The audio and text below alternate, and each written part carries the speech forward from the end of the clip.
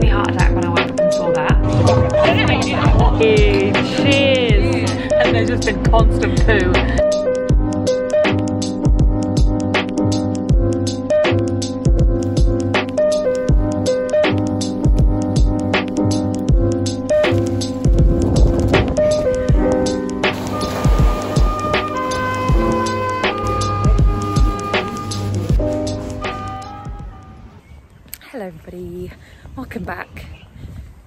Very windy so I'm very sorry about that.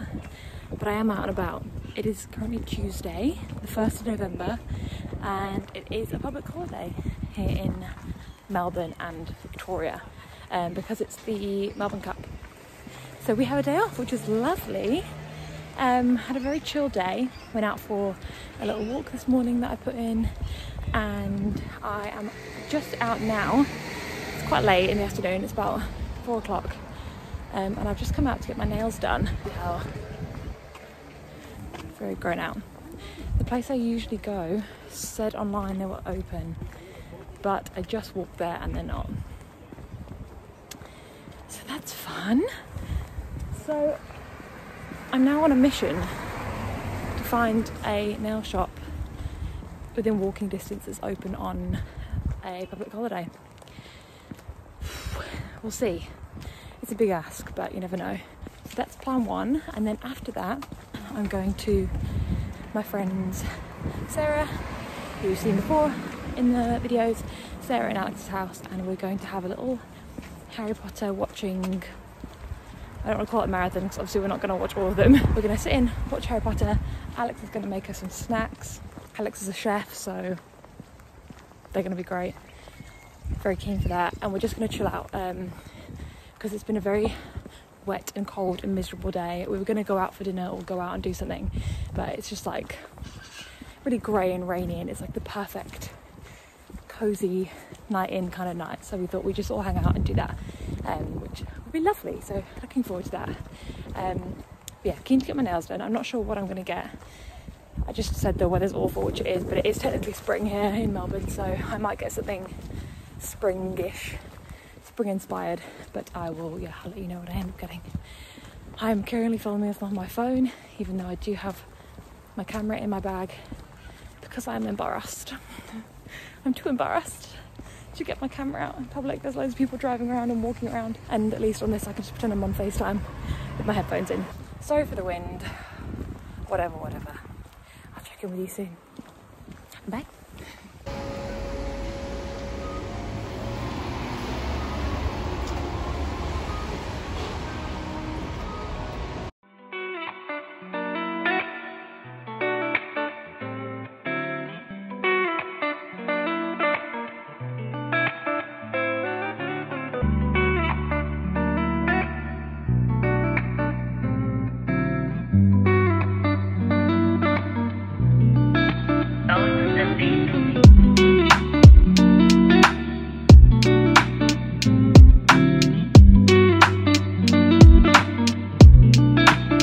Mini crumpets, mini crumpets with um, creme fraiche, with um, a little bit of goat cheese inside, tiny bit. Um, blanched white asparagus with uh, pomelo on top. And uh, this one's like a little bun of uh, lobster, Marie Rose sauce, and preserved lemon. I love it how when Just it comes snack. to ours, it's like chicken and chips. Love chicken and chips. Should start with a crumpet. Yeah. Put it on. Oh yeah, that sauce is good. Mm. Mmm. Very nice. what one are we on? We're not doing a full That's good. Yeah, watching every single one, so buckle in. What, you watched it? You've Obviously already not. yeah. Gluten is life. Me too. Gluten Yeah. is my life. Go. Everyone show me your matching BeReals. Oh. Wait, that's mine. Wait. Oh, it's yours. I couldn't tell because they're all the same.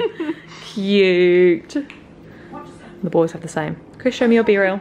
Is this your first one? Not loaded yet. No. Android. Yeah, take ages to Mine's already on.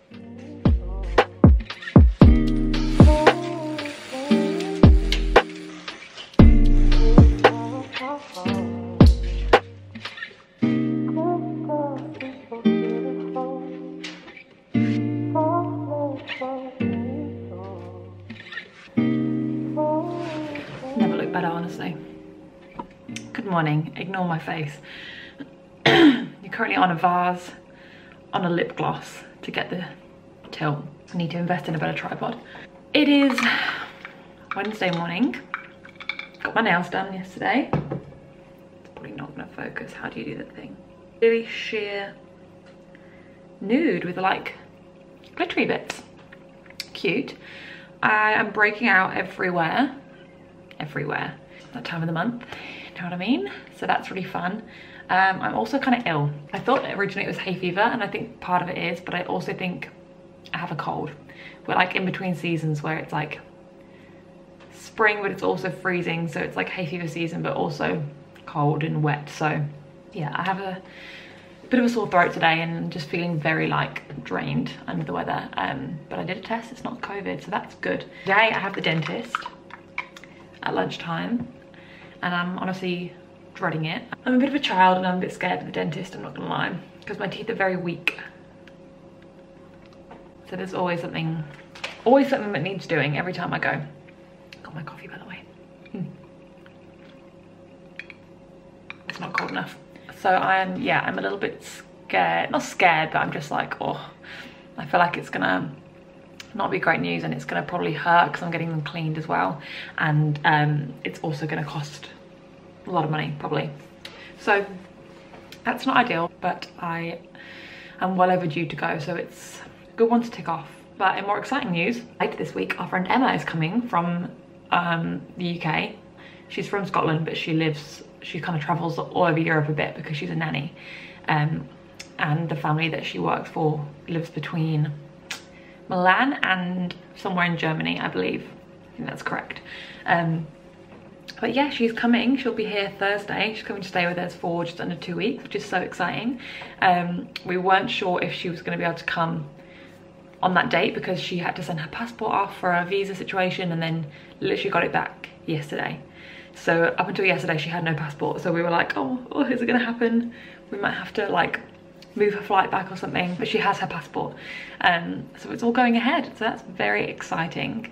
Um, we're gonna plan some fun things. Hopefully the weather comes back around so we can plan some fun little activities while she's here. This weekend the weather's supposed to be way better, so maybe we'll go to the beach, we'll probably go out um, like into the city and have some dinner and some food and dinner and food, have some dinner and drinks or food and drinks.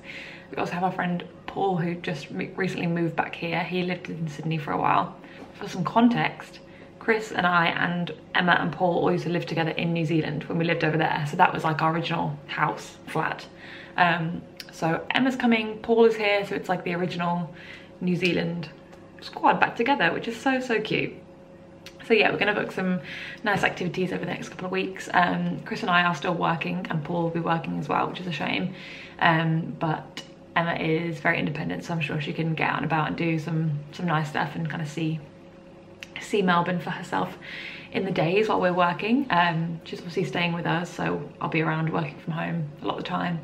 Um, and then yeah, we'll do some fun stuff together in the evening. So I'm very much looking forward to seeing her and having her here. Um, and for her to meet Moose because she loves she loves dogs, so she's gonna be obsessed. In other news today, Taylor has announced a tour.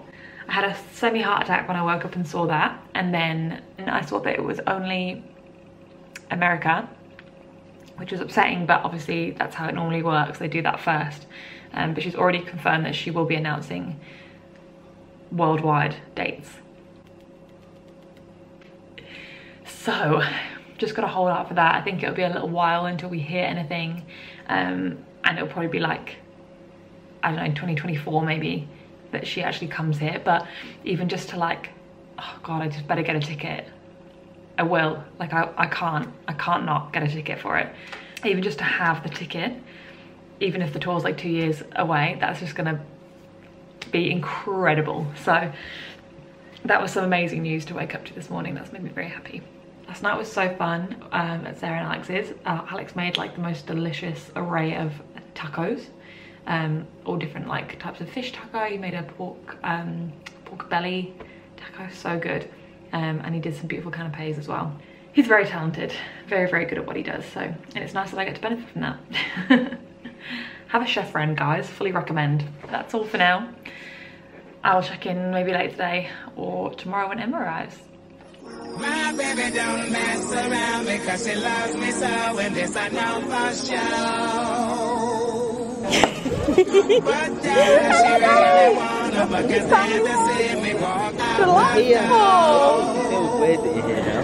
I was getting off the plane, I was like,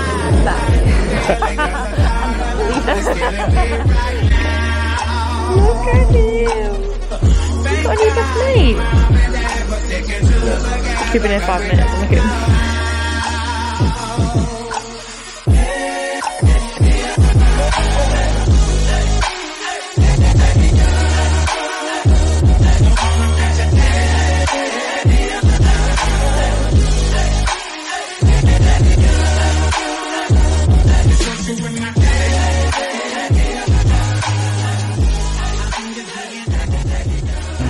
In a bad mood today. No. Had no, we had no sleep. Yeah, we didn't have any sleep because Moose pooed everywhere. Oh, Emma's here by the way. Emma. Hi. Uh, you said hi. Hello. You're like in the darkness in the back seat. Mysterious. You know on those um, programs where people come on and like talk anonymously about crimes and they're like in the dark and they change their voices. That's what you look like right now. Identity's protected. yeah. Emma's a fake name. It's not who you really are. Uh, yeah, Moose has been pooing liquid all night and all day. Well, it was what one in the morning, and I was rudely awoken by the smell of. Sh- You should stop swearing, I have to cut that out. oh. It was one in the morning. I was rudely awoken by the smell of poo, Yeah, which I had to clean up. yeah. And then we put him outside, and then he just wouldn't stop barking at random points in the night Yeah, To the point. spooked, until about three, half three in the morning, and that's when I got to sleep. So, And then you got up and shouted at him, and then he quieted down to be fair after Yeah. that. He was like, oh, sorry. And then I woke up and went out there and there was two I was watching him on the camera, and he was just stood on the end of the sofa at the window, just like listening. He must have heard something Yeah, it scared I him. think he could hear like people coming in from like a night out. Yeah, something. he was just protecting us, but it's very annoying. yeah. And then yeah, there's two more poos there this morning in the living room, all liquid. And then he's done a couple more since. Yeah. He's So not very well. We also got a bit on the sofa. Got a bit on the sofa, throws, bit so we everywhere. clean all those, take all the pillowcases off. Yeah, it's hard because you don't want to be angry at him because Yeah. he's not well. Like it's not his fault. All what But- Emma's just got here. Yeah, Emma's just come in and there's just been constant poo Welcome. all around the house. But you look after small children for a living, so I feel like you're Yeah. used to it. She's uh-huh. used to the smell of poo. Yeah, It's like home. yeah. it feels like back at work. So it could be worse. It's hard to be mad at him when Yeah. you walk into. And he looked so guilty. Like when I walked out this morning, he looked so guilty, and he was looking at me like, "I'm sorry." It's like it's not your fault, mate. Like you've got, you got to go. You got to go. Especially when it's like that liquidy. Wish you could just say, oh, hello. I know. help." When he did it in our room, I was like, "Could you not have like?" He was laying there. This so this is what he does, yeah, when he's got a bad stomach. And he's he's done it to me twice whilst I was laying on the sofa. Yeah. He would just lay there and just he'll be asleep and he will just poo. In his And- sleep. And I smelt it and I turned the light on and it's he's still like in his sleeping position but with a pile of poo oh. next to him like Just kind of hold he just Just comes out. so He's probably as freaked out as you are. So what I do? he eats poo. He doesn't as much anymore. Not he did when he was younger. Yeah, he did eat. I don't think he's bothered by the smell of it, whereas No, but he probably doesn't feel well. Like it's not a nice feeling, is it, when you no, have diarrhea? it's not nice. It's probably like, oh, it hurts. No, but no, like nothing's changed. His diet's been exactly the same. So Yeah, I don't know. He must have just eaten something dodgy off the ground, or maybe it's those treats. He had too many of those treats. yeah, maybe, I don't know. maybe could be anything. Yeah. But moral of the story is everyone's very tired, Yeah, very fed up of poo, and we're going out tonight. shit. Tomorrow's gonna be fun. So tomorrow we're all going to be an absolute wreck. So that's fun. And for now we're just going to go do some shopping. Oh! Jesus! we're going to go and shop and mooch. And then get ready. Retail therapy. But retail therapy. Hopefully wake us up. I do actually think even though it's 3.30, I do think maybe I'll get a coffee. You wanna have a coffee? Maybe. I think I need it for going, if I need to get through tonight. He's tall, isn't he? He is tall. Why is he wearing a, I don't know. is he dressed like he's from the 60s? What's that hat called? Fedora? Yeah, Interesting. quite a traditional Australian hat. Yeah. Not with a suit though. No, it's a bit weird. Oh! That's all I have to say. Anyone else got anything to say? No, Great. no, just want to go to bed. Dead. The end. Thanks for coming.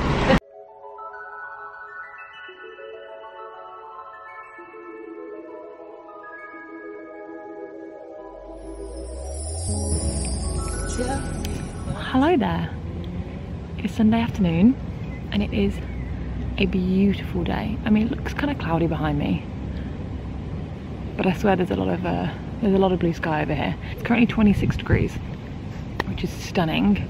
Um, we had a bit of a slow start to the day. Obviously, we were out last night, um, but Chris and I just took Moose on a very long walk all down the beach, which was beautiful. Got a bite to eat, got a coffee, and I'm still drinking a little iced coffee. Just taking myself off to the park to really enjoy this weather. Got my book, got my coffee. Just gonna chill out and have a read and just soak in the sun while it's here. When the sun is out, I swear to God, my mood just increases by like 10,000%. I just feel so much more relaxed. Although saying, that, I think being from the UK, there is like, I do feel some sort of anxiety or like pressure as soon as the sun's out. I'm like, I need to get outside immediately. Like back in the UK, if it's a nice day like this and sunny and warm, like you're not, you will not sit in your house. You just wouldn't do it. Straight away, you're out, you're making plans, you're seeing people, because obviously those days are way more rare. And I think I have that like mindset ingrained into my mind. But obviously in Australia, it's sunny and nice a lot more often, so you can't get out and be doing stuff every single time the sun comes up because you'll be doing stuff constantly. And I think I definitely still have that pressure in my head. Like this morning, it was such a nice day, and I was like, right, we're up, we're going out, let's go to the beach.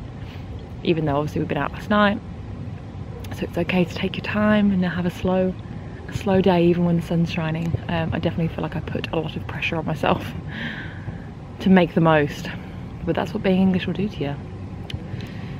But no, I'm really glad I'm out and about now. I'm gonna just enjoy the sunshine. Last night was so fun. We went to a couple of bars in the city. We had some food, some drinks. I think we got home maybe like 2.30 or 3, so it was quite a big night in the end. It wasn't like clubbing or anything, it was very much just sitting at bars and like chatting and it was really nice. Had a good old catch up, some more friends came to meet us.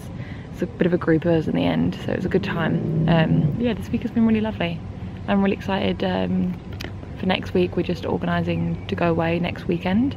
I don't know whether it's supposed to be this nice, but whatever. It'll still be fun just to get away and have a change of scenery. So some fun stuff happening next week as well. So look out for that video. Um, yeah, that's all from me. I'm going to enjoy the sunshine, read my book, enjoy the rest of my iced macadamia latte. Yeah, thank you so much for watching. Have an incredible day, weekend, week, wherever you are. And I will speak to you very soon. Bye.